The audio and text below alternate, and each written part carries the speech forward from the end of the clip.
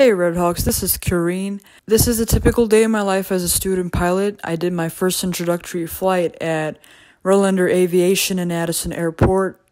I flew the 1971 Piper Cherokee at 2,500 feet, and I flew across Frisco, Lewisville, and Prosper. Um, it's amazing, and uh, I was I'm, I really thank the flight school for helping me doing with that.